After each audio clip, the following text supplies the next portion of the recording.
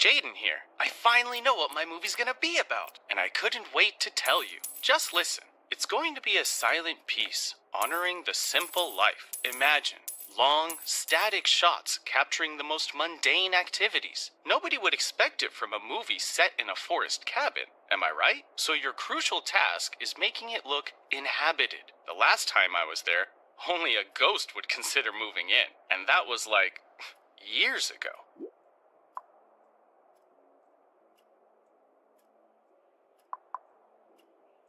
Oh, you think it's that bad? Man, I hope the repairs won't go over my budget. I was thinking about doing it all myself, you know, but I couldn't find time between all the other projects and exams. Now, you're my only hope, since it looks like no one else is planning to do anything about it.